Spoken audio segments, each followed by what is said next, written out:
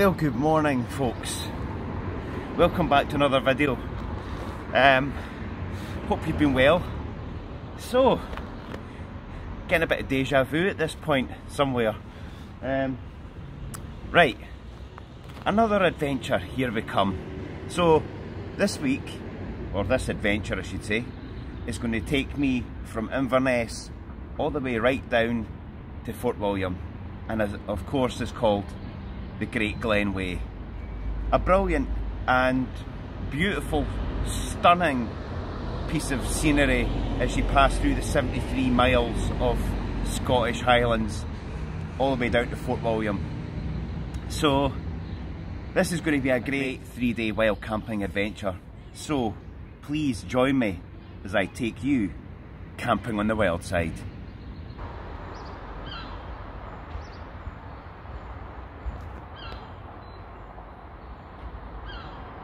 It's not the most um, romantic kind of send off for the Great Glen Way. You either start here or you either finish here. Um, normally it would be inside the castle there, but because they're doing works, well, this is my alternative. And such a busy road section for a lot of people travelling past. And traffic lights. so, um, join me as I take you camping, wild camping on this adventure through the Great Glen Way, which is such a beautiful place. And I don't, I've not done it before, so this is a new thing for me, um, and looking forward to it. Bike's all sorted, just had a new set of tyres, um, specially put on for the Great Glen Way cycle. So thank you very much to the bikes of Inverness for putting them on for me and giving it a little going over, should we say. Um, yes, so excited to do this little adventure and let's get going.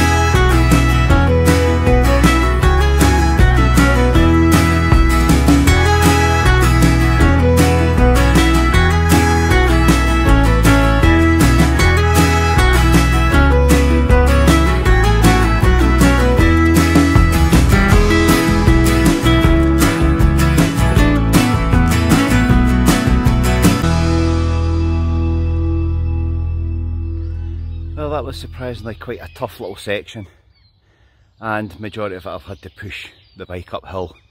It's very stony so it's loose stones so it makes it very difficult and it doesn't help having the, the backpacks on adding the weight so it's very slippy for the bike to get traction.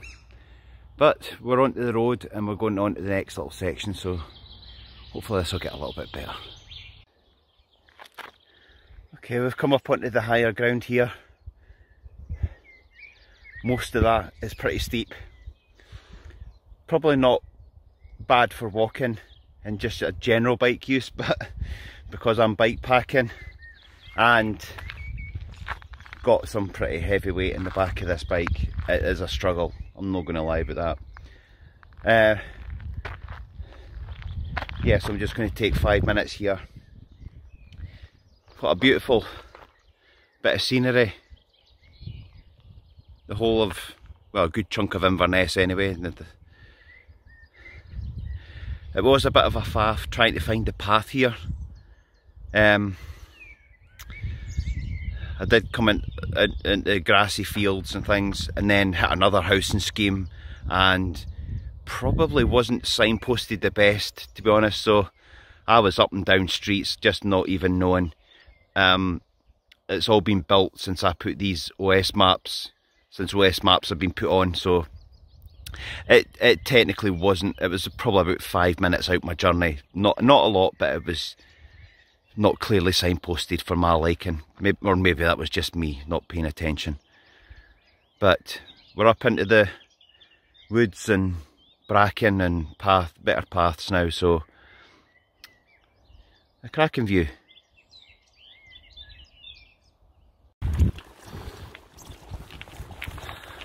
So the path's now opened up a little bit and a little bit flatter. So I can actually breathe and relax a little bit into this walk, or cycle I should say.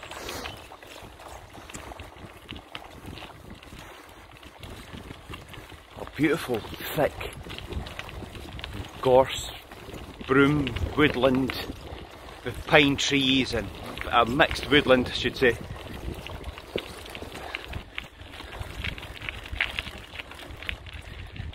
Very peaceful, very uh, quiet, and you just hear the birds twittering away there, which is so nice.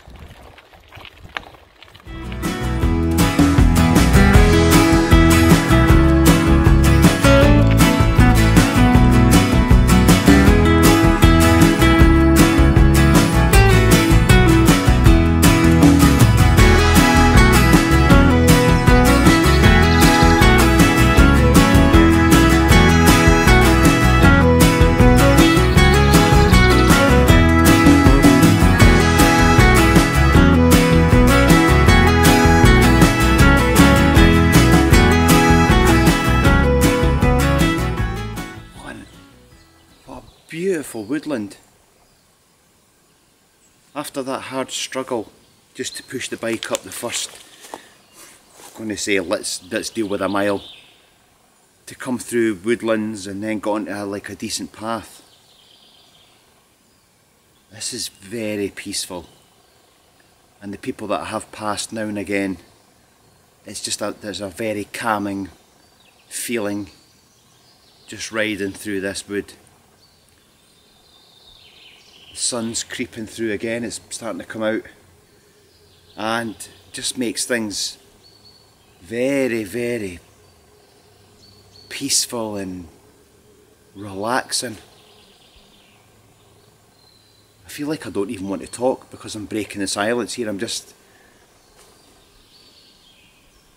It's so lovely. Uh, so I'm just going to have a stop. I'm just going to have a little five minutes some water and some fruit pastilles or something just to just to have a bite. But yeah, sit and enjoy this peace and quiet.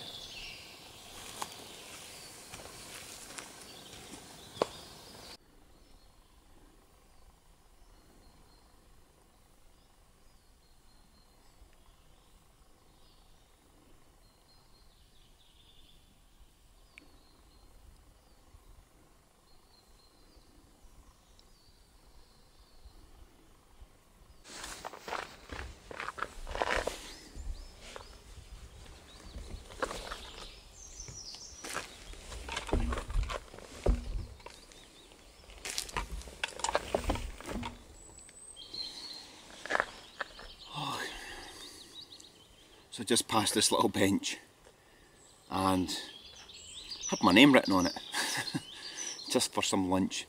So I thought it'd be a good stop just to actually have a couple of rolls and some water. Sun shining on my back, shade and what an absolute stunning woodland this is. I'm loving it.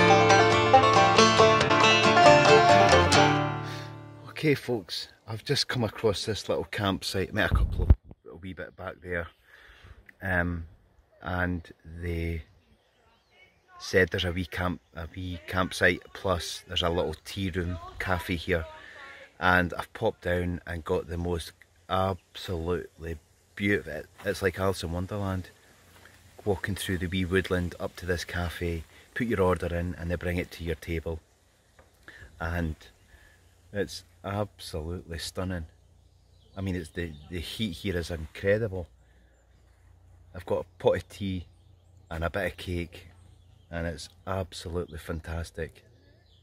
The setting is so peaceful in the woodlands here.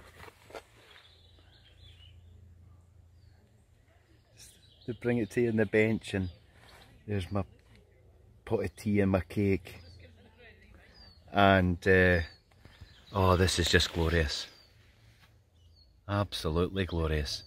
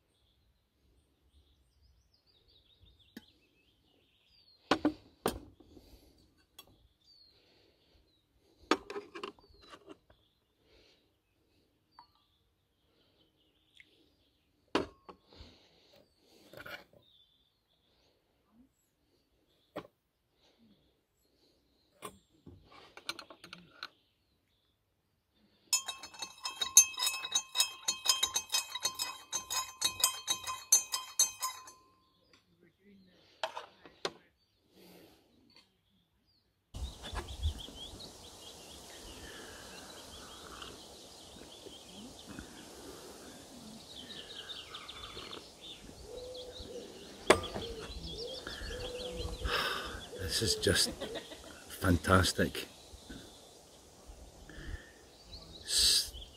What a brilliant idea. It's having a tea room in a open woodland. so peaceful and it's just very relaxing.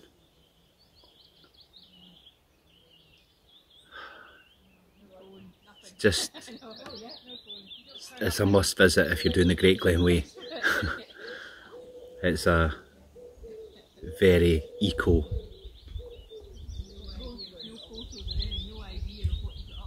setting and it works perfect.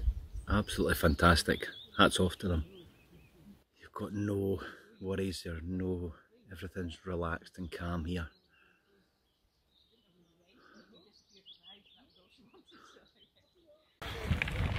So there we go folks. That was Abriachan campsite and cafe, eco cafe and campsite. Look them up on social media or I'll put a link in the description below.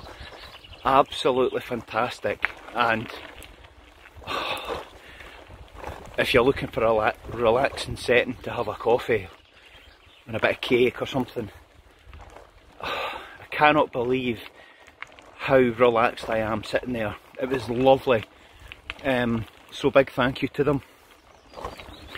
Um, eco toilets as well and all that stuff. So if that's your kind of thing, if not and you never tried it, well, pop along.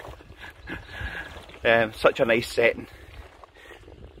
And the recycle out is just absolutely stunning.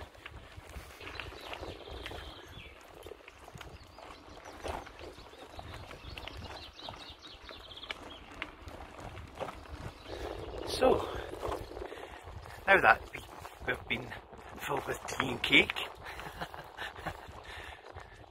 we'll get on our little journey with this glorious sunshine.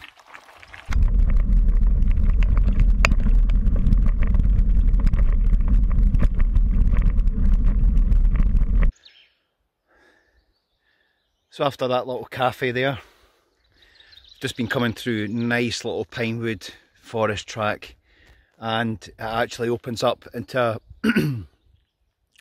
a nice big community woodland and eventually onto this big forestry track. And since leaving that little coffee shop I've seen two people. That's a good couple of miles away. Um, so it's absolutely brilliant for the bike I'm carrying two big packs here so if you're just coming up for the day or a short time to do a stretch of this Great Glen Way. This road from Inverness to, um, I'm just about to come down to Drumnadrochit shortly, but it's absolutely fantastic. Uh, it's just really good riding. So if you've got kids or you get you get pestered by nobody, no traffic or anything here, so it's a really good ride. Um, but yes, it's nice, nice and free. There's a breeze, sun's still out, and I'm just cycling away, easy Ozzy, listening to all these birds, and they're everywhere.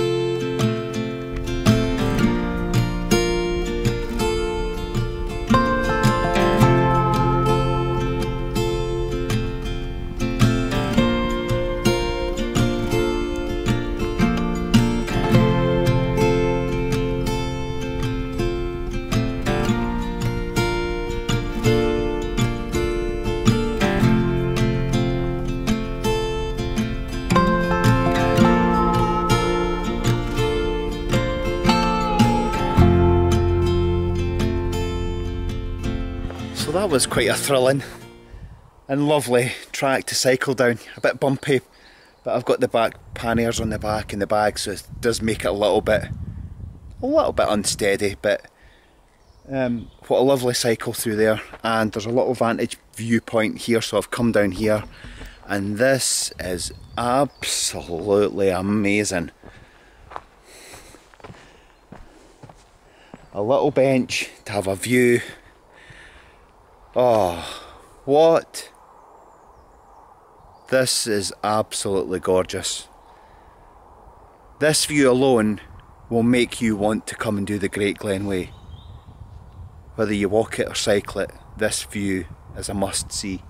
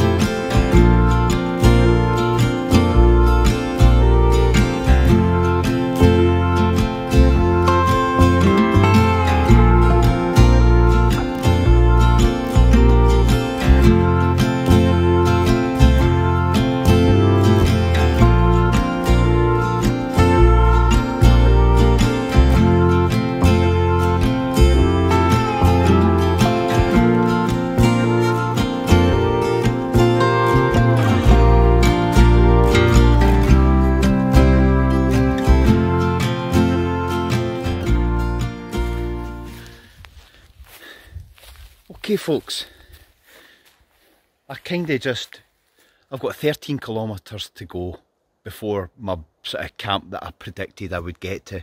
But I'm just going to cut it short because it's a nice evening, it's cooling down, the sun's setting a little bit round the corner there and I've just come down a little track and I'm going to just kind of pitch my tent at the side of this verge here. I'm in no rush to get to where I'm supposed to be. Um, it's just a guide mark of where I thought how many miles I could do. And it's a, it's, a, it's an open three day camp, so it's a wild camp. And I thought this is such a lovely setting, why not? So I'm going to set up camp here, get some food into me, um, get what I need to do, and just enjoy this relaxing camp. It's so peaceful. And I'm loving it. So I just need to go back a couple of hundred yards up the, the track and rejoin where I'm going and then downhill and along the road a bit. and I think it's back up through the woods. So it's a bit up and down, isn't it? That's the way it is. But uh, there is odd midges about, and if I get the tent up, get some food in me, and a warm cup of tea or something, um, it'll be half the battle, for sure.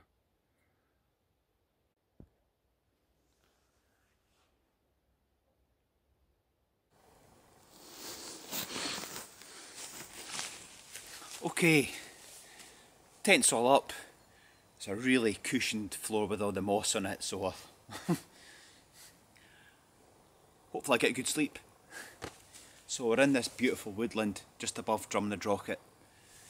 I can see Loch Ness water shimmering through the trees there, which is amazing. Just a little bit, just a little bit, just a little tease, that's what it is. With backpacking, um, as in like the, the bike packing, you have a little bit of luxury because you have a little bit of space where you can put things that you can have a little treat. So um, I bought eggs for the first time yesterday and I boiled them all up this morning. I had three for my breakfast. I've got three boiled up ready for tomorrow breakfast along with a Weetabix drink and a banana as well. For tonight's dinner managed to just go and get some cheesy pasta. Total luxury. Not what I never ever take this at all. The main fact is you need milk. So this is a luxury as well. Very rarely do I carry milk unless I'm just going away for one night. So I'm going to use this because I need it for the pasta and I'll have a proper cup of tea as well. So all good there. So that's my dinner. I'm going to get it on in the next five minutes. Um, there is midges, they're bearable, odd ones are nipping away there as usual. Uh, I've got plenty of water and I thought an ideal stop, I was supposed to stop 13 kilometres further on and technically I've looked at it and I thought well if I use water here I can refill and Drumnadrochit somewhere which is like a bonus so the next stop's just around about Fort Augustus so it's a nice little nice little hop if, if you say so. Yeah, everyth everything's actually fine. Such a quiet little spot and looking forward to my evening. It's just nice and relaxed when you feel that there's no pressure and it's totally different doing it bike packing because you can just you don't have any commitments like a hostel or anything or a campsite or anything that you booked onto. So a nice little wood, woodland grassy path like this is just perfect. And my tent blends in with all the trees and all that, you know, so I'm kind of like camouflaged.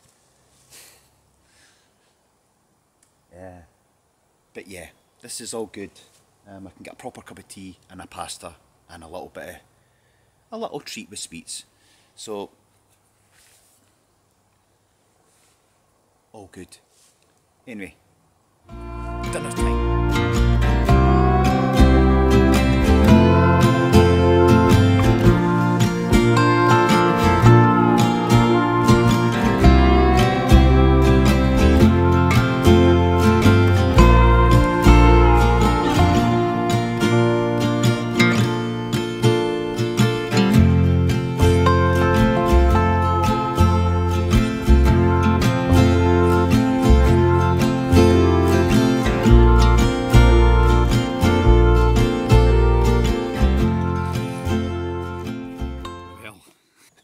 Last time I had this cheesy pasta. But anyway, um,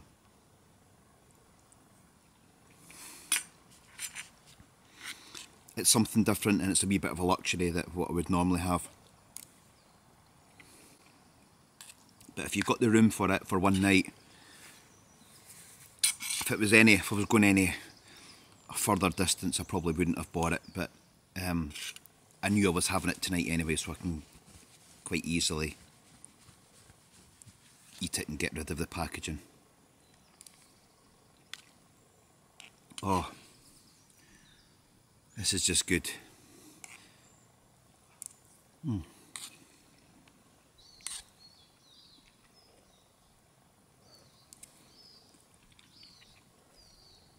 So this is, I mean, that's a that's a big, it's up to about here. It's up to about there of pasta. So it's actually quite a, quite a nice meal. Today isn't technically over. I hope, well, me personally, I've had a, an amazing day. What a lovely cycle this is. Yes, from Inverness, about a mile out, as I said, is technically a bit hard going if you have bike packs on the back, panniers and uh, backpacks. But that's why I had to push it. But once you get to the top, it starts levelling out a little bit, and then you go into the wood and you see that the wood is actually amazing. It's very good to cycle on and that's coming from me that's already got a substantial weight on my bike already. Then we're driving into like forestry and then on a road for a couple of miles and then you take a, a right into this little wooded area where went for a coffee and a bit of cake into that beautiful eco eco campsite coffee house. Oh, it was lovely. Can't get over that. So that'll stick with me. Then, obviously cycling through the forestry track, the road. Um, yes, a bit stony and gritty, and but that's forestry for you. Um, coming into this woodland, was some pretty steep bits, so I did have to walk it down. Um, quite rutty in some bits, of like tree roots and stones, so I technically can't ride that like that. You know, it's not built for the pannier bags and everything for that style of riding. Um, and seen this little shortcut through nice grass area and just thought a nice little camping spot would be fine. Chill out, make it nice and relaxed. So technically, it's actually been such a nice day. The weather's been great, it's a nice breeze, keeping most of these midges away. I know there's a few there now, but keeping most of them away. So yeah, if, if you've never done the Great Glen Way, like I have, I haven't done it either, um, it's definitely worth exploring. And even good on foot. If you're backpacking, get get the map. There is a proper walkway and following the signs. Um,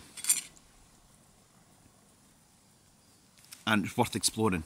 So if it's something that you quite fancy doing, I'll put some links in the description for you. I'll put as many links as I can to the area, um, along with some of the kit that I've got. If you want to check out uh, check out that, I haven't had a fault with any of my kit there. I'm technically still carrying a wounded tent. The pole did snap when I did the North Coast 500 and this is just a little add-on extra from doing that. Um, but the pole split and I'll put a little picture on it of it there and I managed to hammer it kind of shut again and then taped it and then cable tied it which is holding up touch wood. But I only need another two days out of it and then we'll get it sorted. But apart from that I can't fault anything else. Um, the new tyres are doing grand. They're they're great for what I've done so far. So yeah all in all such a lovely little cycle an amazing place and you get some cracking views of Loch Ness and there'll be even better ones along the road there. Um, so it's definitely worth if you planning on looking for an adventure. 73, between 73 and 80 miles or something like that, give or take the paths you take um, of the Great Glen Way. Plenty books on it, plenty info, and um, yeah, if you want to come up and explore it, well, please do. Or, if you've already done it, how did you find it yourself? Did you walk? Did you backpack? Did you hostel? Do you? I'd love to hear how folk, how folk actually have done it. And uh, did you manage all right? What did you think of the scenery?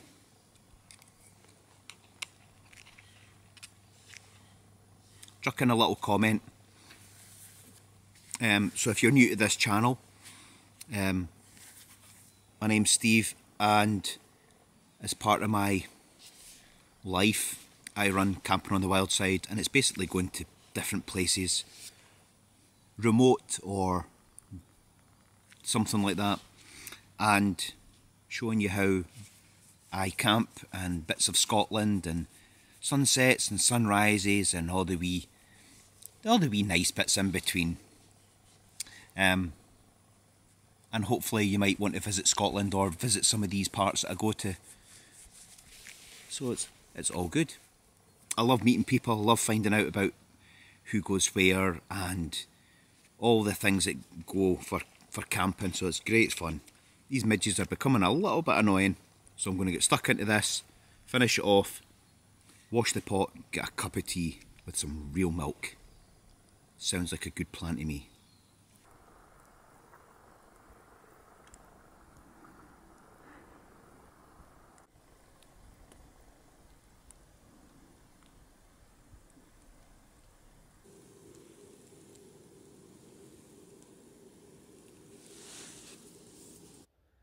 was just sitting out here peacefully with a cup of tea, just listening and watching. And I heard a screeching, so I don't know technically what it was. I, I really think it was two pine martens. It was just a flash of black. So it wasn't red squirrels because they're sort of more lighter colour anyway. But um, That was about 20 minutes ago. I haven't seen them since, so I don't know what's... I've just been walking up and down very quietly and just listening, but can't hear a thing. I think that's the best, best thing to do is just sit nice and quietly with a cup of tea. Just listen. The birds will tell you exactly what's going on. There isn't a peep. There's very little bird noise as well, so things are settling down. Um, so, I've had my cup of tea. The midges are actually quite calm at the moment. It's just, it's just odd ones that are faffing about. So I'm going to call it a night. I'm just going to get into my sleeping bag and this peace and quiet might actually help. But uh, yeah, sounds like a good plan to get in my bed. I could do with it. So on that note, join me tomorrow. See what tomorrow brings. But anyway, I shall leave it here. See you in the morning, folks. Night for now.